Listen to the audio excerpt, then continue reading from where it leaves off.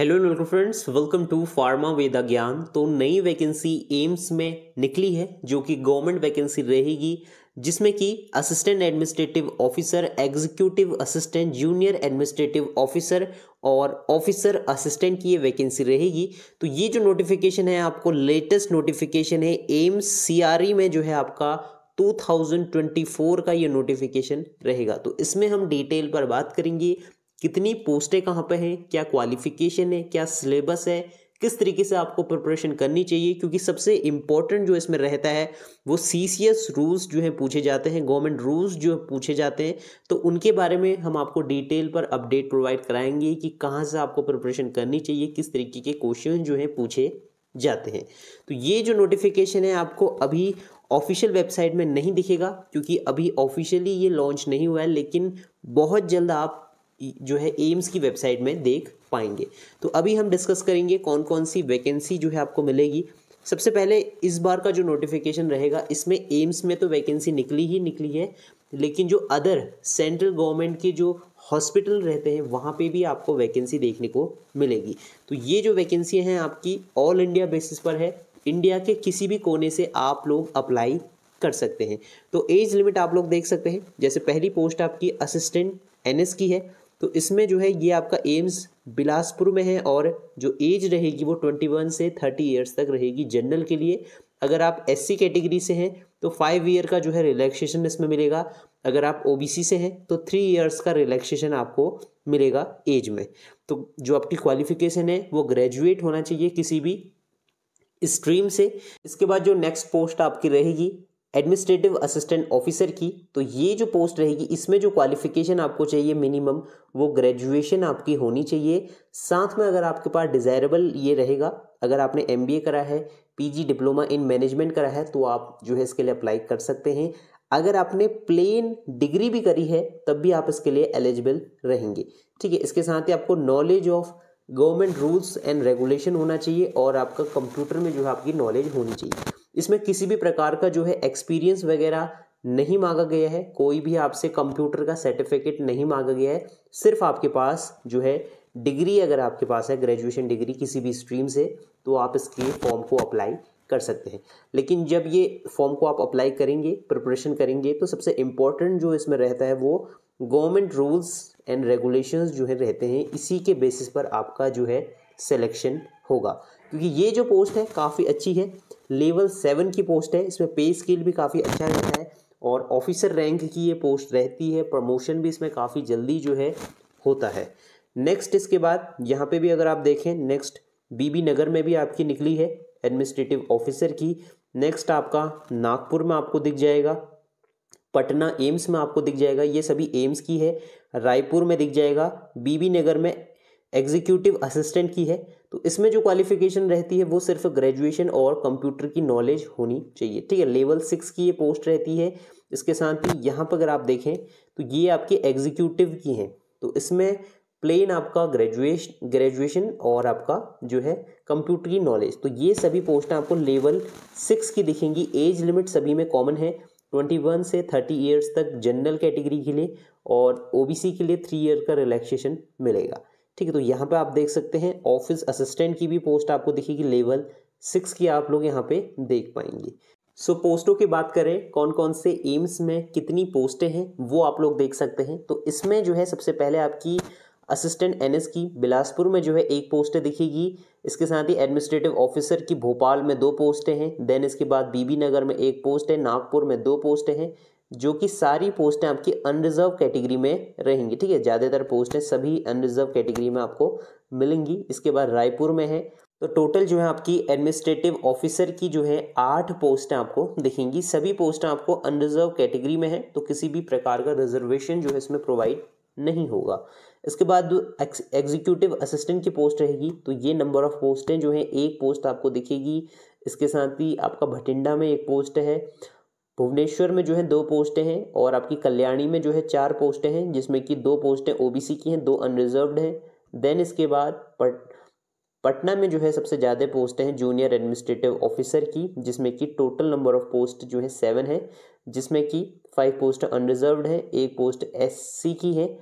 Then इसके बाद रायबरेली में जो है एक पोस्ट आपको मिलेगी, रायपुर में जो है आठ पोस्ट हैं, जिसमें कि एक पोस्ट अनरिजर्व्ड है, तीन ओबीसी हैं और तीन ई डब्ल्यू एस है, दो ओ बी सी हैं और आपका एस टी के दो पोस्ट हैं देन आपका फ़िज़िकल हैंडीकैप की दो पोस्टें रहेंगी। इसके साथ ही गुवाहाटी में भी आपको नोटिफिकेशन दिखेगा तो इसमें आपकी एक पोस्ट मिलेगी जो कि जूनियर असिस्टेंट एनएस की रहेगी। देन इसके बाद ऑफ़िस असिस्टेंट की जो है दो पोस्टें जम्मू में आपको मिलेंगी। तो ये जो है नंबर ऑफ़ पोस्टें हैं तो ये नोटिफिकेशन जब आएगा तो कुछ पोस्टें इसमें बढ़ भी सकती हैं। तो ऑफिशियल नोटिफिकेशन जैसे ही आपको दिखेगा तो उसमें कुछ पोस्ट आपको चेंजेस देखने को मिलेंगे, कुछ पोस्टें बढ़ भी सकती है, तभी इसमें जो है डिले हो रहा है नोटिफिकेशन का, लेकिन ये एक्सपेक्टेड पोस्टें अपने देख ली होंगी। एग्ज़ाम पैटर्न की बात करें तो सीबीटी मोड में ये एग्ज़ाम कंडक्ट कराया जाएगा, जिसमें कि 100 मिनट्स का आपको ड्यूरेशन मिलेगा 100 क्वेश्चन जो है इसमें रहेंगे, जिसमें कि 75 मार्क्स के जो है सब्जेक्टिव डोमेन सब्जेक्ट से क्वेश्चन रहेंगे तो वो टॉपिक भी हम डिस्कस करेंगे कौन कौन से टॉपिक रहेंगे। और 25 मार्क्स का जो है आपका जनरल नॉलेज एप्टीट्यूड और कंप्यूटर नॉलेज के क्वेश्चंस बनेंगे। तो ये जो है आपका सिलेबस रहेगा। इसके साथ ही जो है आपका जो मीडियम रहेगा एग्जामिनेशन का, वो हिंदी और इंग्लिश दोनों में बायलिंगुअल रहेगा। इस इसके साथ ही जो फोर्थ पॉइंट है आपको, यहाँ पे देखिएगा एम्स जो है reserve the right to divide question paper in section of fix duration तो एम्स के पास राइट right है कि वो खुद से अपना क्वेश्चन पेपर जो है सेट कर सकता है, जो सेक्शन का डिवीज़न है वो अपने हिसाब से कर सकता है। जो एग्जामिनेशन मीडियम होगा, वो किस तरीके से रहेगा, जो कॉमन पेपर आपका रहेगा ट्वेंटी फाइव मार्क्स का, ये जो आप देख रहे हैं ट्वेंटी फाइव मार्क्स का, ये हिंदी और इंग्लिश दोनों में आएगा, ठीक है? इसके साथ ही यहाँ पे आप देखें, जो स्टैंडर्ड रहेगा वो टेंथ और आपका ट्वेल्थ तक का स्टैंडर्ड आपको देखने को मिलेगा। देन इसके बाद जो डोमेन सब्जेक्ट रहेगा, जो कि सेवेंटी फाइव मार्क्स का है तो वो किस तरीके से रहेगा? वो सिर्फ़ इंग्लिश मोड में ही आपका आएगा। तो इस चीज़ का आप लोगों को ध्यान रखना है। तो ये जो आपका स्पेसिफिक टेक्निकल डोमेन नॉलेज है, वो आपको इंग्लिश मोड में ही देखने को मिलेगा। इसके साथ ही इसमें कोई भी रिक्वेस्ट नहीं की जाएगी कि जो आपका डोमेन सब्जेक्ट है, उसका जो मीडियम है, उसको चेंज किया जाना चाहिए। इससे पहले भी काफ़ी जो है विवाद हुआ था कि आपका जो डोमेन सब्जेक्ट का मीडियम है, उसको हिंदी में भी होना चाहिए, लेकिन जो आपका मीडियम है, वो सिर्फ़ और सिर्फ़ इंग्लिश मोड में ही रहेगा। इसमें किसी भी प्रकार की जो है नेगेटिव मार्किंग नहीं मिलेगी, ठीक है? नेगेटिव मार्किंग नहीं है। देन इसके बाद एक नंबर जो आपको सही आंसर करने में मिलेगा। तो ये जो है जनरल सिलेबस रहेगा, इसके साथ ही जो है क्वालिफाइंग मार्क्स फोर्टी परसेंट है जनरल और E W S thirty five O B C thirty percent S C and S T category तो क्वेश्चन पेपर हम देखेंगे, जो आपका प्रीवियस सिलेबस है, वो किस तरीके से रहा था? सो एग्ज़ाम पैटर्न की बात करें तो प्रीवियस पैटर्न जो रहा था, इसमें आपके कौन कौन से टॉपिक रहेंगे? तो ये जो आपका रहेगा junior administrative officer office assistant NS और आपका एग्जीक्यूटिव असिस्टेंट तो ये सभी के लिए जो है कॉमन पेपर रहेगा।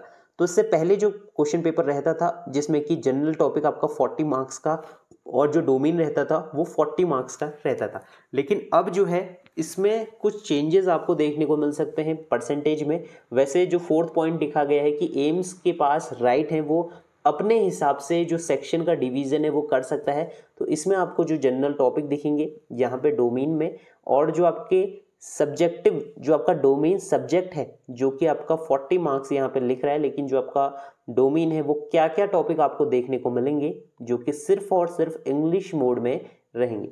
तो यहाँ पे आपको जनरल एडमिनिस्ट्रेशन दिखेगा सीसीएस रूल दिखेगा एफ़ आर दिखेगा एस आर दिखेगा और बेसिक कंप्यूटर तो बेसिक कंप्यूटर आपको देखना है फाइनेंशियल रूल आपको देखना है इसके साथ ही आपको जनरल एडमिनिस्ट्रेशन के सभी रूल्स जो हैं देखने को मिलेंगे, ठीक है? तो इसके अंदर भी काफ़ी सब टॉपिक आपको मिलेंगे तो उसके बाद बारे में हम डिस्कस करते हैं क्या क्या टॉपिक आपको देखने को मिलेंगे। लेकिन जहाँ तक लग रहा है कि जो आपका सेवेंटी फाइव मार्क्स का है, जो आपका सब्जेक्टिव है और जो ट्वेंटी फाइव मार्क्स का है तो एम्स अपने हिसाब से डिसाइड कर सकता है, या तो फोर्टी फोर्टी परसेंट कर सकता है या same as it is seventy five और ट्वेंटी फाइव का रेशियो लेके एग्ज़ाम कंडक्ट करा सकता है। तो असिस्टेंट एडमिनिस्ट्रेटिव ऑफिसर का अगर स्कीम ऑफ़ एग्जामिनेशन देखें, क्या पैटर्न रहा था? तो इसका भी पैटर्न सेम आपको देखने को मिलेगा, जैसा एग्जीक्यूटिव असिस्टेंट और जूनियर एडमि जो आपका असिस्टेंट ऑफिसर की पोस्ट है तो उसमें भी आपको डोमेन सब्जेक्ट दिखेगा और आपका हिंदी इंग्लिश जो है कंप्रीहेंसिव भी जो है इसमें आपको देखने को मिलेगा। तो ये प्रीवियस पैटर्न है, लेकिन जो आपके टॉपिक रहेंगे वो सेम आपको देखने को मिलेंगे, जो डोमेन है मेन आपका डोमेन सब्जेक्ट है जनरल टॉपिक भी आपको दिखेगा जनरल में आपका जो है जनरल क्वेश्चंस मिलेंगे। लेकिन जो आपका डोमेन सब्जेक्ट रहेगा, जिसमें कि आपको जनरल एडमिनिस्ट्रेशन के क्वेश्चन दिखेंगे, जो कि सिर्फ़ इंग्लिश मोड में ही आपके आएँगे। और इसमें आपके जो है जनरल एडमिनिस्ट्रेशन हो गया सी सी एस रूल्स हो गया एफ़ आर हो गया एस आर हो गया और बेसिक कंप्यूटर के क्वेश्चंस आपको मिलेंगे। तो ये कुछ टॉपिक आपको देखने होंगे, इसके अंदर भी सब टॉपिक जो है रहते हैं तो कौन कौन से सब टॉपिक आपको देखने को मिलेंगे उसके बारे में हम डिस्कस करेंगे। सो so, पोस्ट जो आपकी रहेगी असिस्टेंट एडमिनिस्ट्रेटिव ऑफिसर हो गया इसके साथ ही जूनियर एडमिनिस्ट्रेटिव ऑफिसर हो गया और आपका एग्जीक्यूटिव ऑफिसर की जो पोस्ट रहेगी असिस्टेंट की जो पोस्ट रहेगी इसमें आपकी जो क्वालिफिकेशन और जो डोमेन सब्जेक्ट है वो आपको सेम देखने को मिलेगा।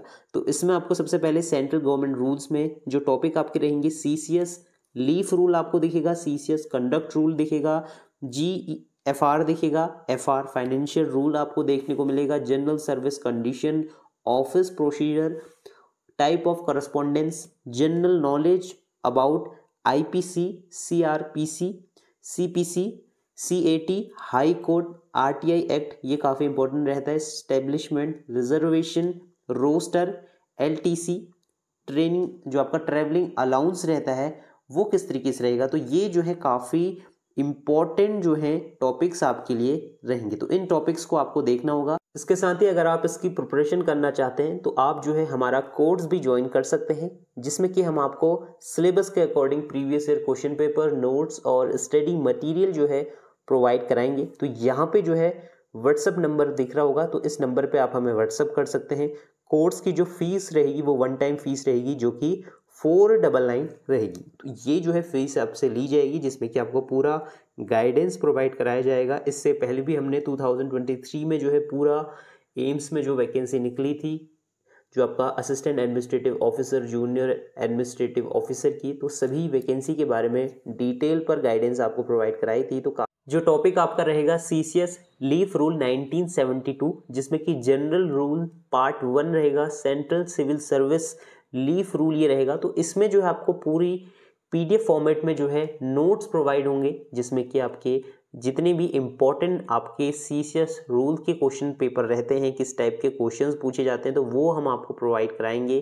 किस तरीके से आपको प्रिपरेशन करना चाहिए, हिंदी और इंग्लिश दोनों मोड में जो है आपको क्वेश्चन जो है प्रोवाइड कराएँगे और जो शॉर्ट फॉर्म रहती है। मतलब जो नोट्स की शॉर्ट फॉर्म रहती है, अगर आप इसको ब्रीफली पढ़ेंगे तो काफ़ी लेंदी ये रहता है। तो शॉर्ट नोट में जो है आपको इसका पूरा पीडीएफ फॉर्मेट में जो आपको प्रोवाइड कराया जाएगा। इसके साथ ही जो आपका सिलेबस है, उस हिसाब से आपको जो है नोट्स मिलेंगे, प्रीवियस ईयर क्वेश्चन पेपर मिलेंगे, मॉक टेस्ट मिलेंगे और जो प्रीवियसली कंडक्ट हुए हैं आपके एडमिनिस्ट्रेटिव ऑफिसर की वैकेंसी के जो क्वेश्चन पेपर हैं, वो भी आपको अवेलेबल कराए जाएँगे। तो ये जो है प्रीवियस ईयर क्वेश्चन पेपर रहेगा, जो कि असिस्टेंट एडमिनिस्ट्रेटिव ऑफिसर का है। तो अभी तक जितने भी एम्स ने एग्ज़ाम कंडक्ट कराए हैं असिस्टेंट एडमिनिस्ट्रेटिव ऑफिसर के या फिर जूनियर एडमिनिस्ट्रेटिव ऑफिसर के, सभी के प्रीवियस ईयर क्वेश्चन पेपर आपको जो है प्रोवाइड कराए जाएँगे, जो कि पीडीएफ फॉर्मेट में जो है रहेंगे। ठीक है तो उसकी पूरी पीडीएफ आपको मिलेंगी, कैसे क्वेश्चन जो है रहेंगे जनरल क्वेश्चन किस तरीके से रहेंगे सब्जेक्टिव क्वेश्चन किस तरीके से रहेंगे। अगर आप यहाँ पे देखें तो यहाँ पे आपको जो है central secretary manual of office procedure तो ऑफ़िस प्रोसीजर जो टॉपिक है, वहाँ से आपको क्वेश्चन देखने को मिलेंगे। इसके साथ ही आपका जो जनरल फाइनेंशियल रूल 2017 है, वहाँ के क्वेश्चन भी आपको दिखेंगे, ठीक है? तो जनरल फाइनेंशियल रूल के क्वेश्चन दिखेंगे, इसके साथ ही fundamental rule of service is related with general condition of service तो ये जो है कौन कौन से अमेंडमेंट एक्ट हैं, कौन सा चैप्टर में जो है ये रूल आपको देखेंगे तो वो आपको देखना होगा। इसके साथ ही सेंट्रल सर सर्विस जो रूल है 1964 तो इसमें जो है कौन कौन से रिस्ट्रिक्शन रिगार्डिंग मैरिज हैं तो वो आपको याद करने होंगे। तो इसको याद करने का जो शॉर्ट फॉर्म है, उसके लिए शॉर्ट नोट्स जो है प्रोवाइड कराए गए हैं तो वो आप लोग देखें तो उसमें आपको पूरी गाइडेंस मिलेगी, काफ़ी हेल्पफुल वो आपके लिए नोट्स रहेंगे और किस तरीके से आपको प्रिपरेशन करनी चाहिए, उसकी पूरी पीडीएफ जो है आपको मिलेगी। तो आप हमसे जो है ज्वाइन हो सकते हैं। यहाँ पे आपको व्हाट्सअप नंबर दिख जाएगा। इस नंबर पे आप हमें व्हाट्सअप कर सकते हैं। सारी डिटेल्स हम आपको प्रोवाइड कराएँगे, जिसमें कि आपको एप्लीकेशन का लिंक मिलेगा। वहाँ पे आपको पूरे जो है notes previous year question paper और जो है स्टडी मटेरियल जो है पीडीएफ फॉर्मेट में मिलेगा। तो इसमें जो है आप लोग ज्वाइन हो सकते हैं और फॉर्म भरना जो स्टार्ट होगा वो एक्सपेक्टेड नवंबर में आपको फॉर्म इसके दिख जाएँगे। अक्टूबर या नवंबर तक फॉर्म दिख जाएँगे और आपका एग्ज़ाम जो है दिसंबर लास्ट वीक तक आपका एग्ज़ाम कंडक्ट हो जाएगा। तो प्रिपरेशन करते रहिए, कोई भी अपडेट रहेगा, वो हम आपको प्रोवाइड करा देंगे। मिलते हैं नेक्स्ट वीडियो में, तब तक के लिए बाय